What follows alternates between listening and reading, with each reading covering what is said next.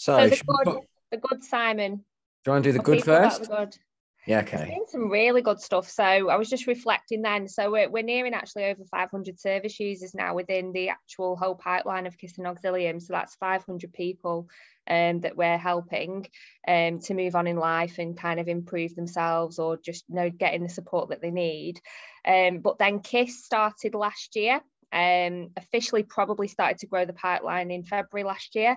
And Yeah. I was working out that we've helped to house completed properties 32 service users and then we've got another 24 so that's 56 um in total this year so want to replicate that next year simon definitely and more We want to Um, replicate that a month next year, but anyhow. yeah yeah so that's kind of where we are within within the business um do you want to share some goods from your side simon personally Yeah. The goods has just been honestly getting to work with Christian and Isabel. It's been amazing, you know, and the people in this group. It's just we've had a hell of a year, you know, and there's some bads as well as good, but the business has grown, the business has changed a lot. We've learned a hell of a lot about what works for our business and what doesn't. Um, there's been a huge, a huge lot of lessons. I've certainly learned that, you know, if I don't love driving up and down the motorway, I shouldn't be doing this job because oh boy, do I put some miles on my car. I think Bryn's probably catching up with me now. But you know, you do crack some miles and, and do some motorway driving. But I actually quite like it. I love what I do now. I, did my old job for 25 years and I actually go back and do the odd day now and again with my old boss, but I don't miss it. I love what I do. I love talking to people. I love going out looking at houses. I just, it's just a really nice way of spending your life. You know, it'll be, it'll make us rich one day, but you know, that's, that's secondary at the moment. So for, for us, it really is just about growing the business, spending time with people you love, helping people out ultimately. And it's really nice to do that for a living, isn't it? Yeah. And personally, from my side, I got engaged, which was a real shock. If anybody saw the Facebook post, it was quite hilarious because Jamie held a ring up and took a selfie and he was going, Look at this picture. And I'm going, Oh, yeah, yeah. And then he's like, No, look at the picture, Kristy. And there's a ring. And then I started screaming. And I think people thought that I was in trouble. So that was quite a funny day. um, yeah. And then I think a big one for all of us is each and every one of us left our day job. So we're all full time in the business. So that's a massive thing. So we're all in the business together now, kind of driving it forward. Um, and my award this month was lovely, but it wasn't just mine, it was actually for the business. And Danny did actually mention that during the presentation, even though it was in my name, it was actually for all of us because we've done so much together as a team. It just that I happened to be there on the night. So that's a massive thing for us to kind of be um, kind of recognized by you know by a property group and by it was actually a silent vote so everybody voted which i think is really lovely so that's probably our wins as a as a business simon isn't it i would say Yeah. We got to do lots of presentations to people. We got to do podcasts. We did a radio interview, an internet radio interview. We did all sorts of stuff, didn't we? It's it's really humbling to get to get asked to talk about, you know, what we do on on those kind of things. And it's nice to be classed as as people actually know what they're talking about now. Yeah Um, yeah and, and nine nine in total i think are counted we've done nine this year which is amazing nearly one a month yeah. which is fantastic so so yeah that's been amazing um should we go on to the bad simon Oh God, how long we got? the bad has been interest. There's a lot of learning curves, hasn't there? Really. I mean, we some of it's our own fault as well. We made a decision sort of near the start of the year that working directly with landlords was not for us. It really wasn't a side of the business that was very profitable. It was a huge time waster. We, we go, you know, three quarters way through a deal with a landlord, and then he would just go, oh, I can make five quid extra a month doing this. So you'd run all over the country to give them good service. It just wouldn't work. So we made a decision to actually just work with our investor base. We do the odd direct to landlord one now and again, but not very often. Long term, it's been fantastic for the business. Short term, for the cash flow for the business, it's been like throwing a hand grenade into the bank account.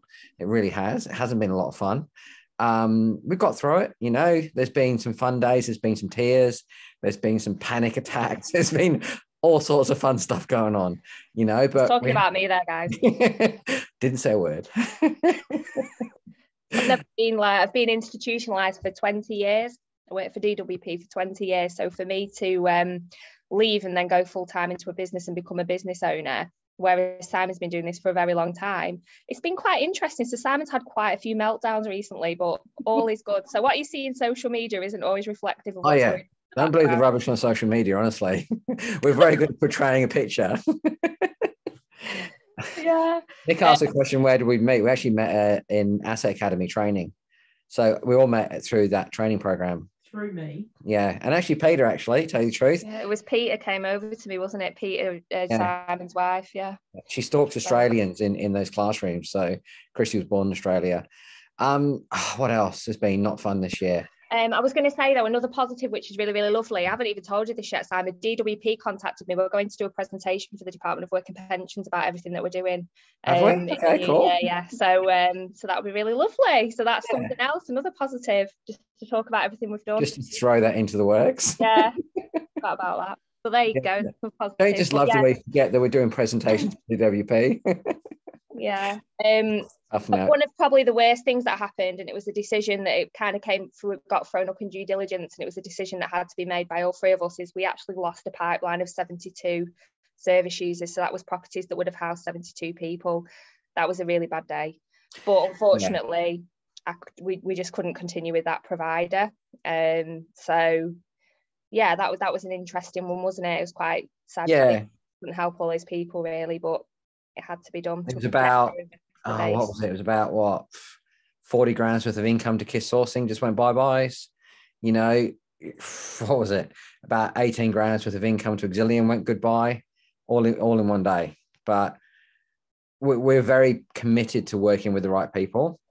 And the way that company operated and decisions they made, we couldn't, in good faith, do anything with them. And we couldn't put landlords and, and our investors in a position where they're working with a company that acted that way. Yeah, and to be So- fair, at the very beginning, everything everything on paper, everything was fine. Just started not feeling comfortable about things, and we just thought no.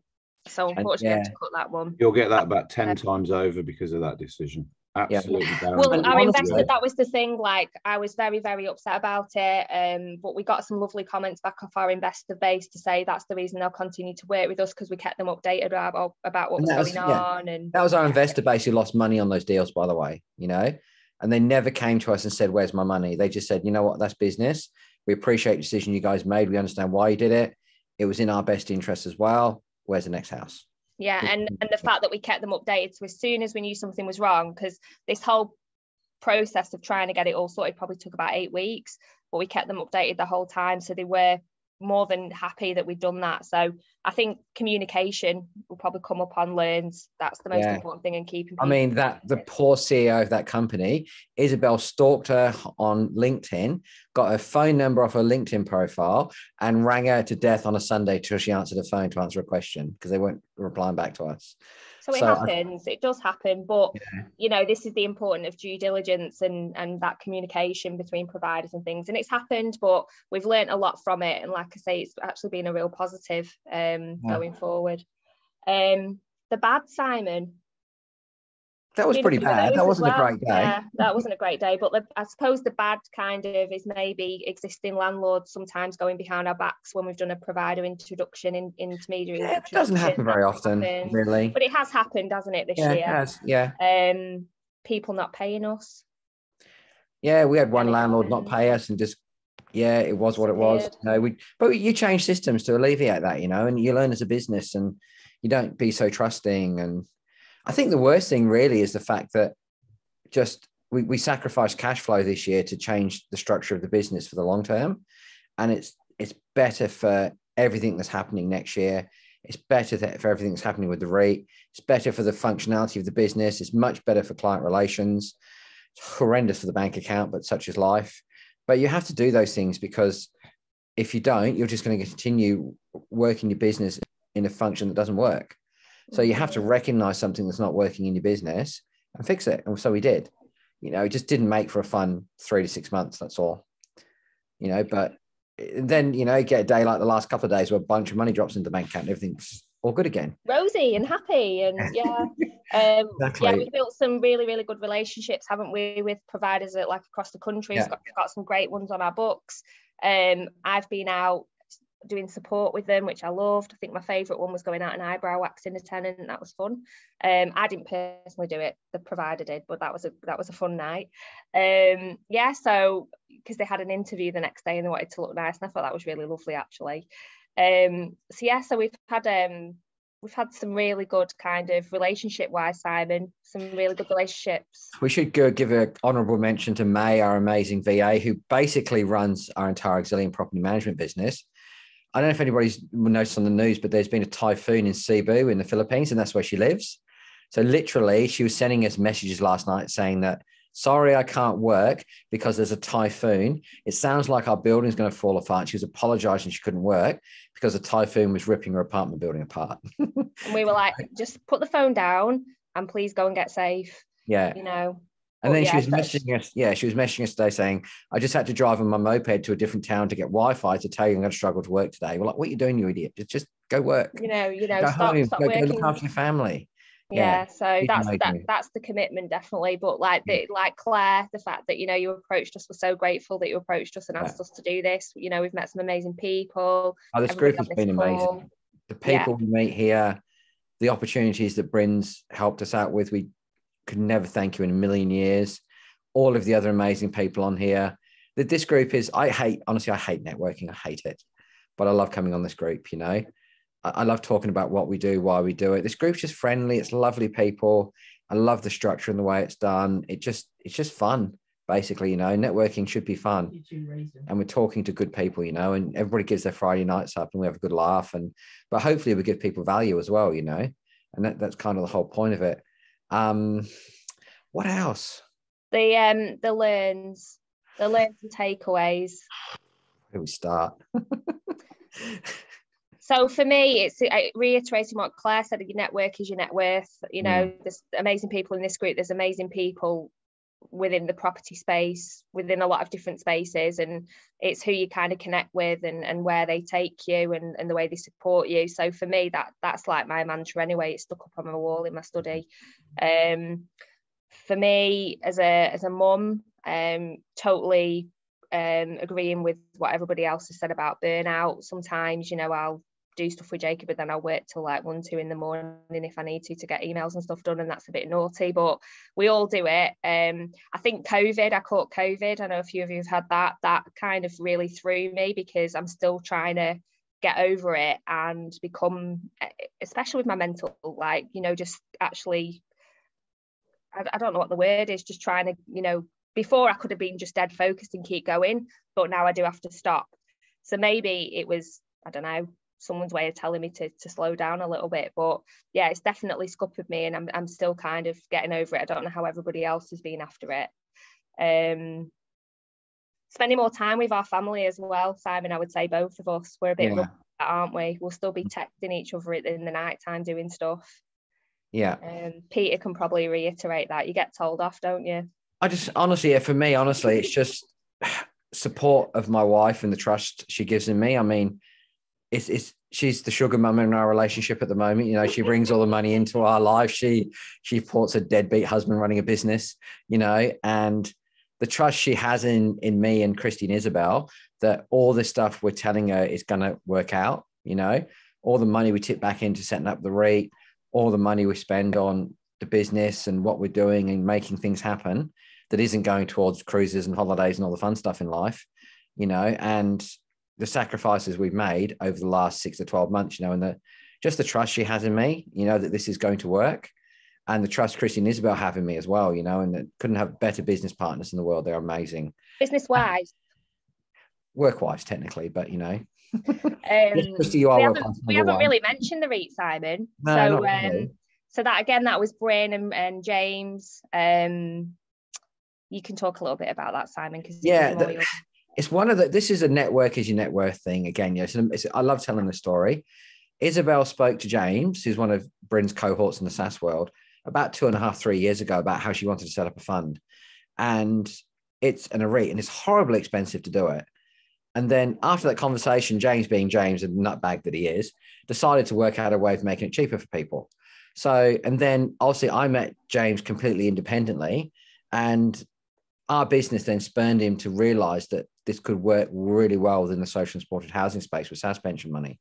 So the fact that my future business partner spoke to somebody independently three years ago, then came in to be business partners with us, and then somebody we spoke to the same person who then set up something that works perfect for our business model that they knew nothing about from three years ago, and so on and so on and so on. That got to the point now where us, Trish, and many other people can set up a rate for a reasonable amount of money that's achievable, that can that can just take Change other lives. people's money. And honestly, I uh, I am the world's worst person for raising money in property investing. I am hopeless at it. But I've raised money with this REIT because it's something people understand. It's something they can get their head around. It's a structure they get, and the, the amount of commitment we've had so far from people over the last six weeks is stunning. You know, and we're not we're not there yet, but the commitments people have, the conversations we have, the willingness of people to to give us money for what we're doing and why we're doing it. I don't that wouldn't be possible without Bryn, without James, without that conversation Isabel had three years ago. And and if we do what we want to do with that, we're going to house thousands of people, not hundreds of them. You know, and that's the whole point of it. And yes, we'll make some money out of it, which is lovely, but you know, we can house thousands of people by doing that. And that's the whole point of it. And we can house thousands of people while giving people a good return on their money. So it's just an amazing thing to be involved in. Utterly terrifying, but amazing. You know, Oh, Simon, what's it called? what's what called? The REIT. Ocentricity. Oh, you can say it now. I can say it now. I've practiced. so I can't get my tongue around it usually. it's some Yeah. we, we, yes, we love weird names for things. Okay. Auxilium centricity. We love weird names for things, you know, but look, the REIT is going to be amazing over the next few years. It's been terrifying to do, honestly. It's such a massive step for us to do. But you know, it, it's working, isn't it? It's getting there. It's it's It's yeah. because we've already got the system behind it, Simon. So yeah. building the system for the last two years to then move that into Mm. a different space. So for us, 2022 will definitely be building the REIT. Um, Simon, Isabel, um, and I are actually, and there's a few people here that are going to be members of the board of uh, Soulful Minds, which is a CIC, which will be for people with mental health, housing, and supporting them within Birmingham to begin with. Um, so that's going to be something else that's going along in the sidelines. So, and just growing KISS and Auxilium and just keep housing loads and loads of people, as I always say, isn't it, Simon? Yeah, there's so much stuff going on. We've got a, I've got a guy working alongside us in Australia talking to people about their pension money and that business is growing. And there is so much stuff going on, honestly, in the background that we've honestly spent 12 months just building things and building things and building things Mm, really to make 2022 amazing. You know, yeah. I mean, the Australian stuff is going to be clients who'll feed into the REIT. You know, we couldn't get their money out of them really, not easily anyhow, if it wasn't for the REIT. It's just everything just ties into each other.